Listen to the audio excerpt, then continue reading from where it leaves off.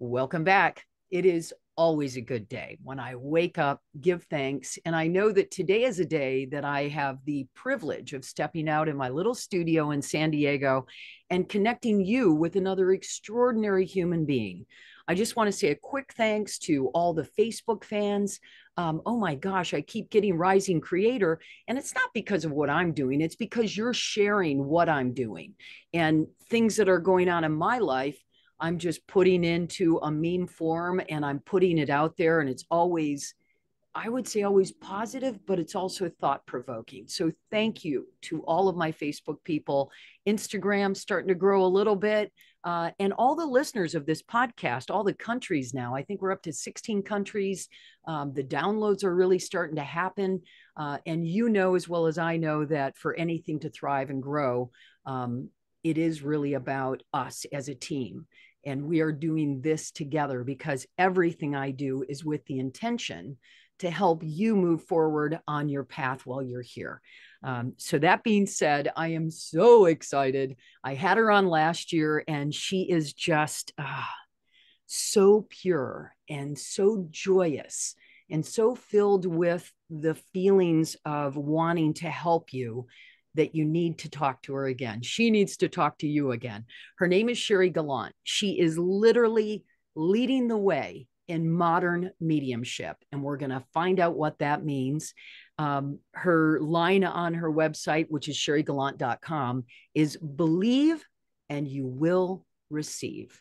And boy, oh boy, do I believe that. Welcome to the show, Sherry. How are you?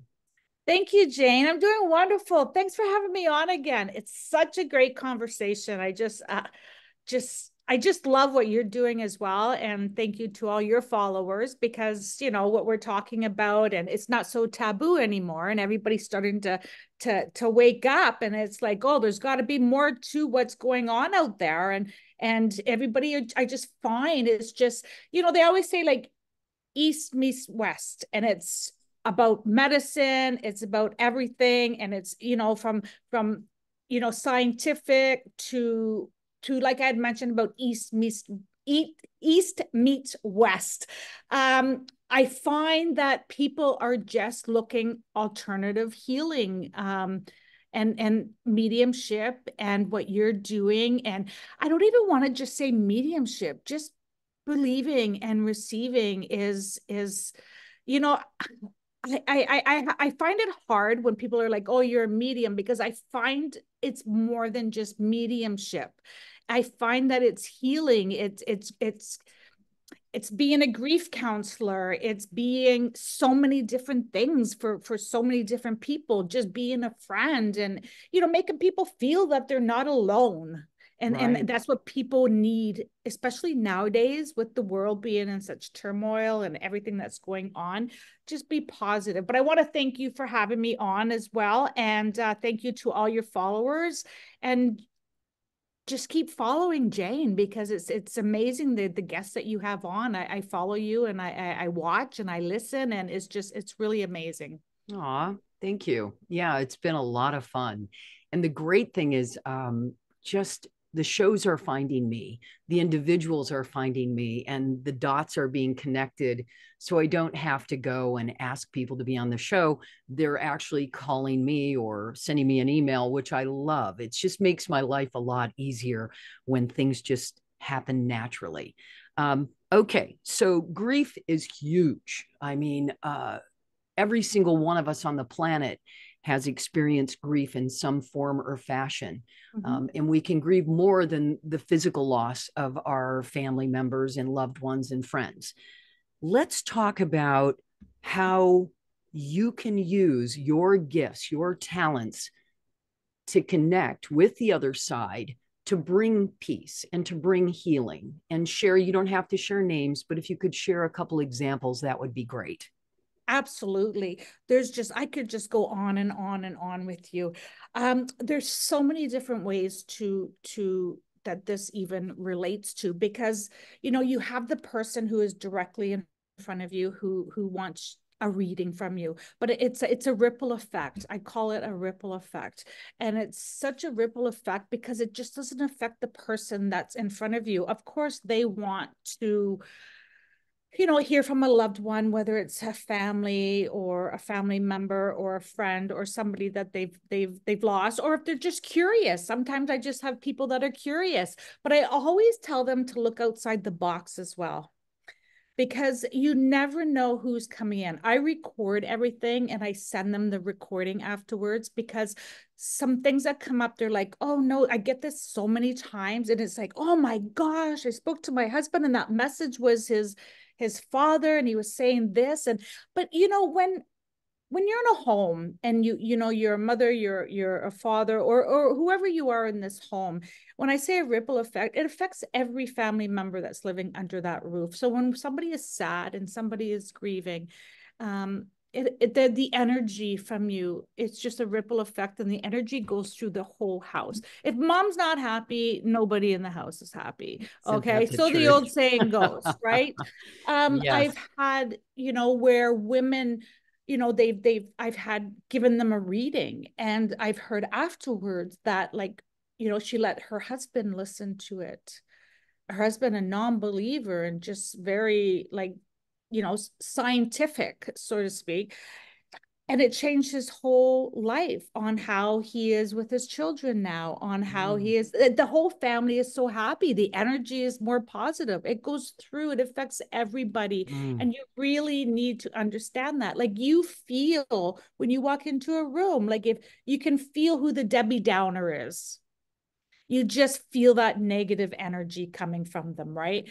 And I call them energy vampires, but sometimes they don't even know that they're even doing it. Right. And to help them, and there's so many different ways. I do events um, and theaters and you know when there's a few hundred people in in front of me and you know i do readings and you know whether it's 10 12 14 15 readings that are are, are that night that i give that night i've gotten emails afterwards. Uh, for example um, i had a gentleman um, an email that was forwarded to me uh, that said hi you know um, i was at your show. And he says even though i didn't receive um, a reading personally from you. He said what i experienced what i had saw the healing that went on in that theater was absolutely amazing.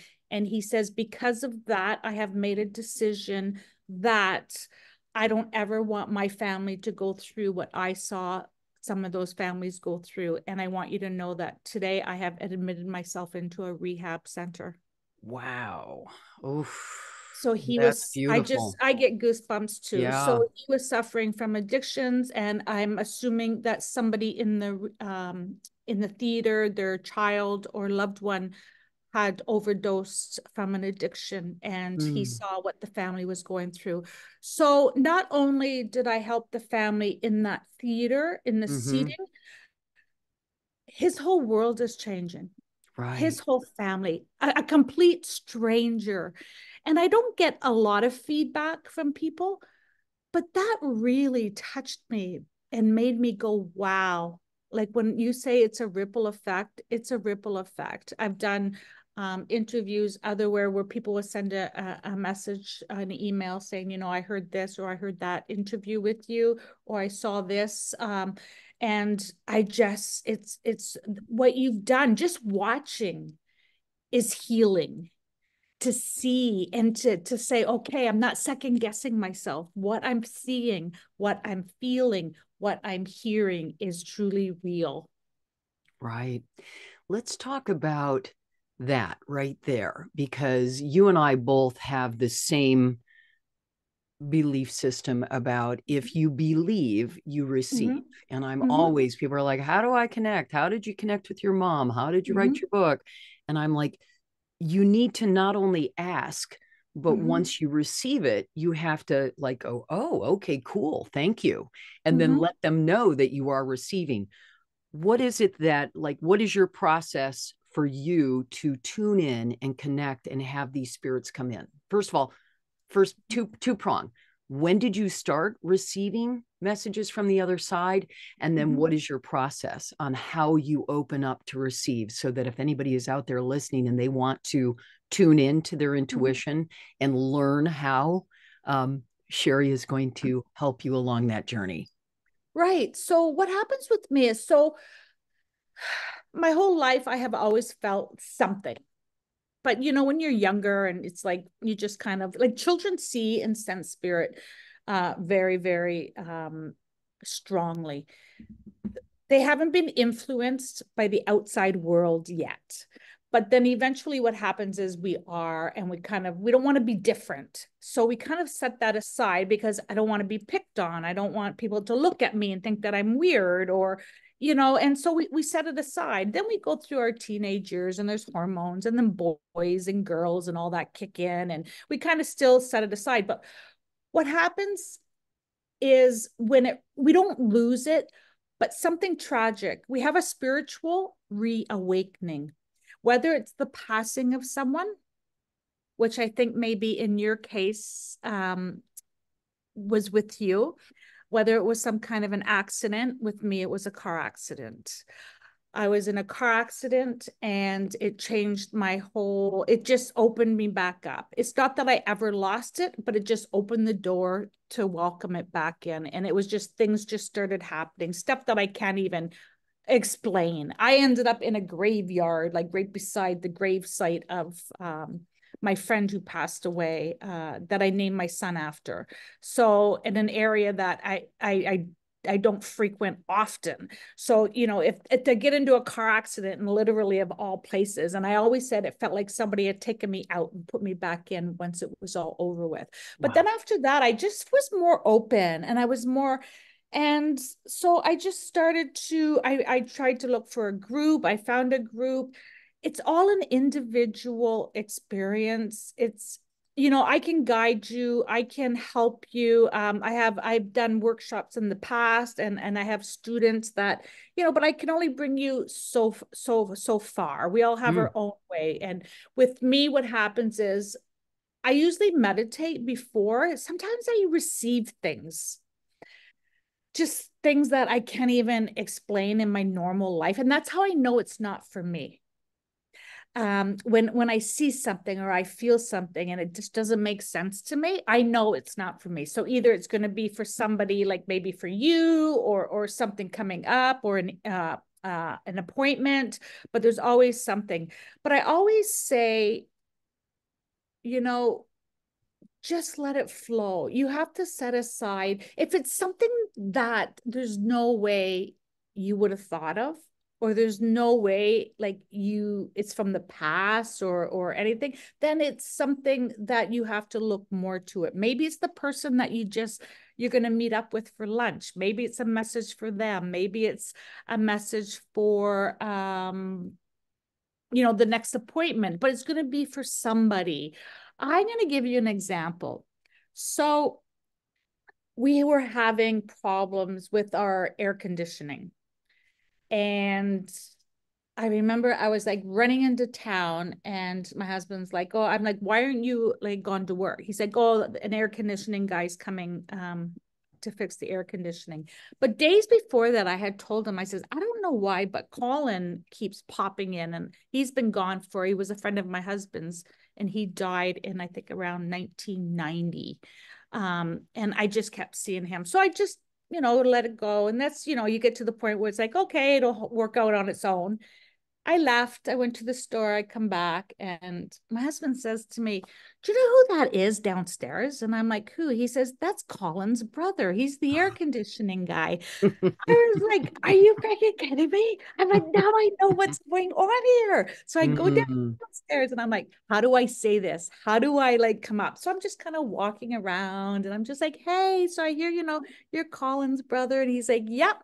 And I'm like, well, what would you do if I told you that like he's with you in, in spirit? And he goes, oh, no doubt. He was completely open. So it was quite simple for me. But mm-hmm. those are the things. Also, I don't usually do readings for family and friends because I feel like I know so much about them already. Ah, okay. But, but, um, I had a friend, I have a friend, um, who's, I don't know, I would say middle 70s. And she says to me, You never do readings for me. And I says, Well, I just know so much about you. And she says, But you don't know everything. And I was just like, Okay, you know what? No, she's Irish. Good point. Okay, she's Irish. So I said to her, Well, let me try and let me feel. So right away, instantly, I saw a young girl, indigenous, and I'm thinking, This is me thinking, okay, she's Irish. Why mm-hmm. am I seeing this indigenous girl? Headband on, two long braids. I'm like, you know, the only thing I said, this is what I'm seeing.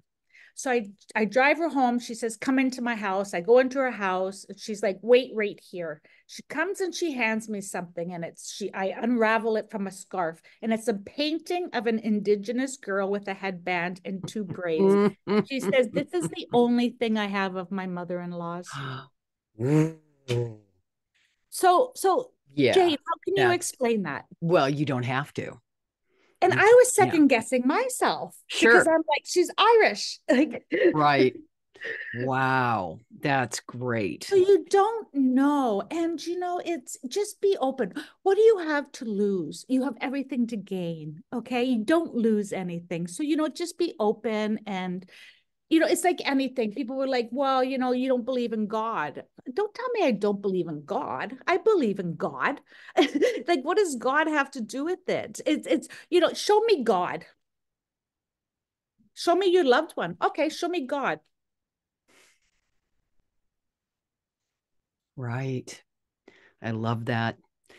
Um, Wow, this is so fun. Are you involved? I know you do events and I know they sell out every time you do events, big theaters with hundreds of people. Um, when you are doing an event and all mm-hmm. these people are sitting there, what is happening? Is it just that you are receiving a message and you just go, okay, you know, how does yeah, that so work happens, with a crowd? Yeah. So what happens is sometimes I'll feel what area it's coming from, like the energy. I'll feel like I, am being pulled. But a lot of times I explain to them at first. I say, listen, I said, you know, we all want that one person to come through. Sure. We all want that one person. I said, so, you know, there are some common names out there. So, you know, if I mention, I always use Margaret for an example because, you know, I had a Margaret come through one time and there was like 30 hands put up in the audience. But I'm like, please let's wait until there's something really significant. And what happened was with this one person, there was all kinds of hands put up, but they started to go down. And then what really nailed it was she made me start singing the school bus driver song uh, speed up a little bit. Hey, hey, bus driver, speed up a little bit. Everybody sat down except for one woman. And she wow. said, My mother, Margaret, was a school bus driver. Oh, that's great. That so is hilarious. You so you're that? on stage and you are singing this school bus oh, song. I know my voice isn't very good. That's so, hilarious. oh, and I also had, um, I had a woman, um, I had a man come through another time and um, it was a rock song it was it was a rock song and i didn't even know who sang it it was so embarrassing but i was like singing this guitar and and all of a sudden this woman is like shoving her her her husband or whatever sitting beside and he stands up and I'm like, hi. And he's like, I love when the men get it. And then he's wow. like, I think I don't know. I think that she kind of dragged me here. And I think that was for me because, you know, when you see men in the audience, most times because the wife made them come with them. and it's actually funny because I know they'd rather be watching the football game or the hockey game, but whatever. So, anyways, he tells me so this was his dad. And he was the lead singer for a tribute band for the song that I was singing. I think it was an Al Alice Cooper song. And he's like, I'm the lead singer. And he goes, I've been thinking about giving it up. And he says, You're telling me that my dad is telling me to keep going. Mm. So, like, those are the details. Mm-hmm. I'm not going to sit there and say, Your great grandma is here. Listen, if your great grandma comes in, that's going to be wonderful. Right. But it's it's got nothing to do with I want detail. And this is what I tell them like, please but I've been doing it so long now that I feel like it's a natural. I always say I'd rather talk to spirit than the outside world right now. and people will say, well, when you're out, don't they like come at you? Like come at you? And I'm like, well, I kind of have a, this is how I put it. I have a deal with spirit. And my deal with spirit is when I'm out dancing with my friends or out having a dinner with my husband or having a good time, I said, that's my personal time. you allow me to have my personal time, I will always be available when I need to be. Wow. That's so this deal. is this, is this is a deal I have with spirit. Um, I don't go up to strangers. Um, that's their private personal space. Uh, some people just aren't ready um, to to have yeah, it. Absolutely. And um, and and yeah, but it's I could go on and on, like just the amazing things that have happened, and just like um, I'll give you another example. When I had first, it was hard to come out. I call it. I came out of the closet, so to speak. It was. It was. It was hard for me because my husband is a businessman. My my son was, you know, going to university, and um, I just didn't want. I didn't want it to affect them.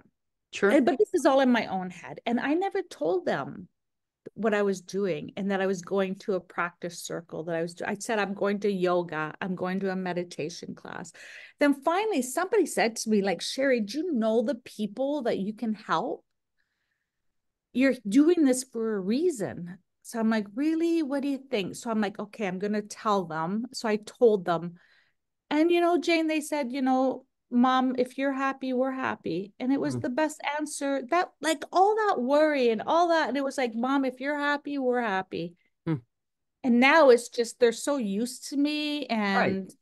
it's it's wonderful um my mom got sick in 2010 uh, with leukemia and mm. she ended up passing uh, three months later and so my mom there's me and i have three brothers so and then what happened was i kind of you know to take care of her i was there and but you also so i have a background with so i was a regulated acupuncturist. I've always done things i was you know acupressure reflexology uh, herbs and and aromatherapies and i've always been into eastern medicine.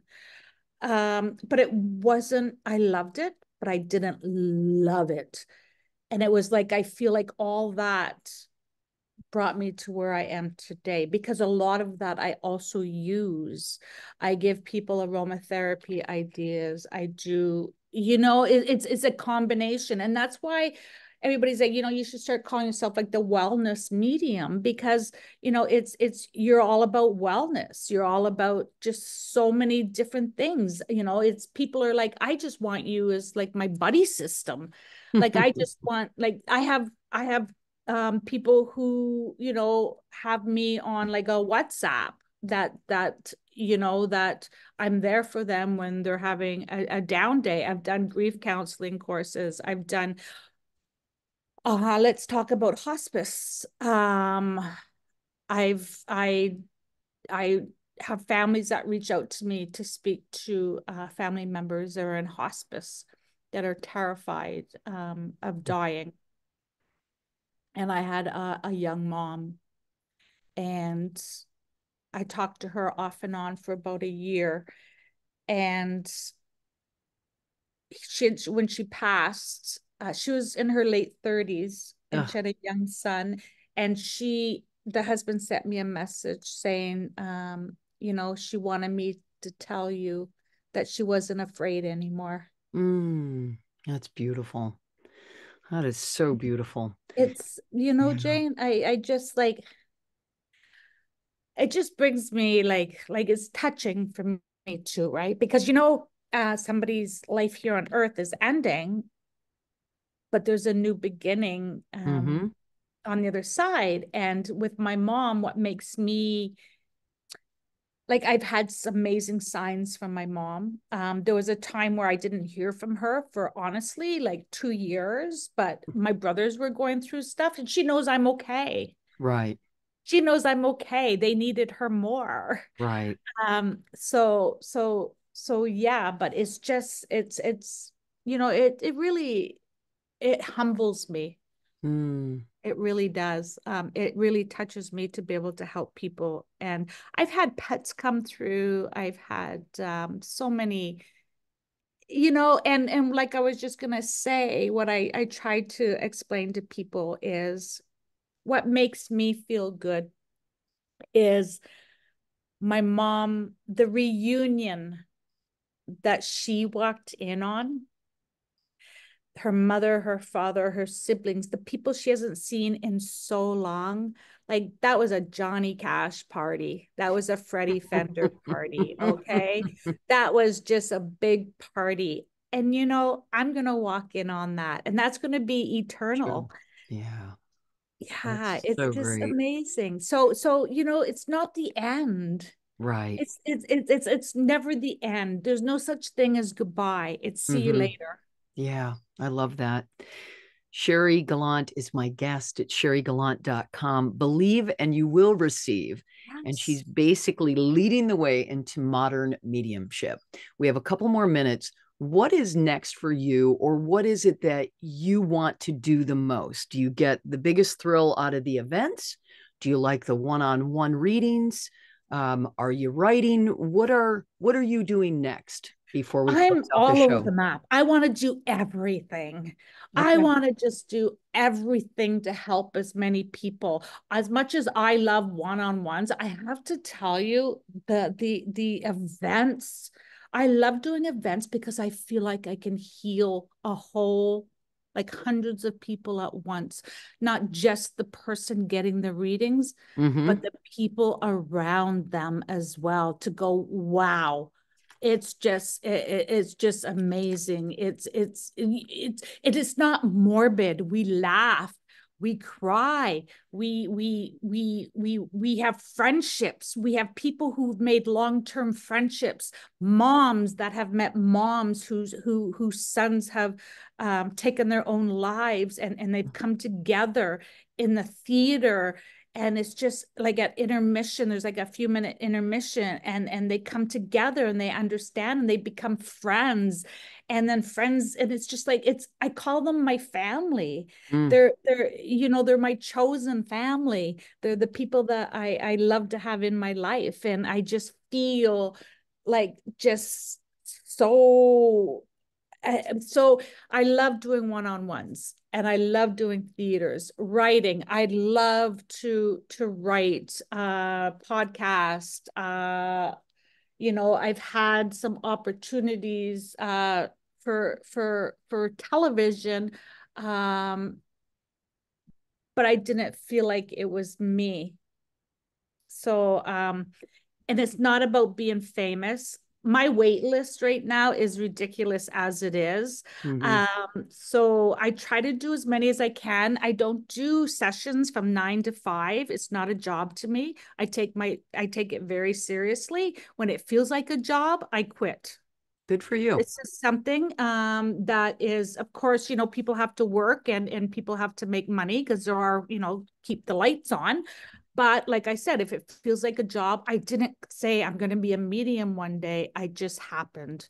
Right. And um and and that's it. But i just want to help as many people as i can. I have a bunch of events for 2024 that are just going to be starting to they can people can go to my website sherrygallant.com yeah. um i'm i'm in canada. I have you know people want me to come across canada. People want me to come to the us people want me to come to europe. I've done sessions with people in south africa I've done sessions with people that um you know people are like wow you know you've done sessions with actors and and and all these like famous people and you don't you know you should be putting it on your website. Why? Like i don't need i'm not i don't need people to know who i do. It's very confidential and that's another mm-hmm. thing. Good for you. There has to be mediumship etiquette yeah, I'm not. I love that. Tell you I'm the medium to the stars, um, yeah. because they're people too. I, I don't care if you're uh, a big movie star or you work at a coffee shop um there's there's there's no difference to me there. So i've had people tell me i have to get my priorities right because i need to put certain people at the top of the list. Uh what is that you know i i'm like well then you know what? They're going to get double wait time because i don't think i should have to put anybody nobody's no. a priority when Good it comes to grief. Good. Well, what I'm hearing is you're not seeking attention and no, you no. are you are the real deal. And uh, I think I, that that's why it's very important to me too. I vet people um, especially in the medium world because you don't know and whatever I put on the show I personally back and believe in. And mm-hmm. I believe in you, and you are absolutely the real deal. So it's sherrygallant.com. If you want to go to one of her events, you want to reach out and get on our waiting list for a one on one reading. Um, I am so excited that you agreed to come back on the show. And I think we should just have you come on whenever it's good for you and you want to share. I something. love this. Like it's just yeah. a chit chat. Like we don't, Absolutely. you don't ask me, you know, you don't send me this list of what we're talking about. It's, no. it's, you know, we just having two friends having coffee and, and tea together. And, and that's what, that's what I love about it. It's yeah. just coffee time, tea time. And if we can share it, we share it with everybody, Jane. And and Absolutely. you know, thank you so much for having me. I'll be on here anytime. I love it. Thank you, Sherry. I really appreciate it. SherryGallant.com. Um, I got connected with her through Camille Dan and uh, just has been such a nice friendship to have her. And I love what she posts too. So follow her on social media. Not only follow the next room, but follow her social media because she really posts some beautiful things. And we're very aligned in that thought process that life just goes on and on and on and on. So okay. thank you for listening to the next room. I appreciate you being here. I'll be back again next week. Uh, my shows post on Mondays. Um, so thank you very much for being part of the next room community. Thank you. Thank you. I'll talk to you again very, very soon.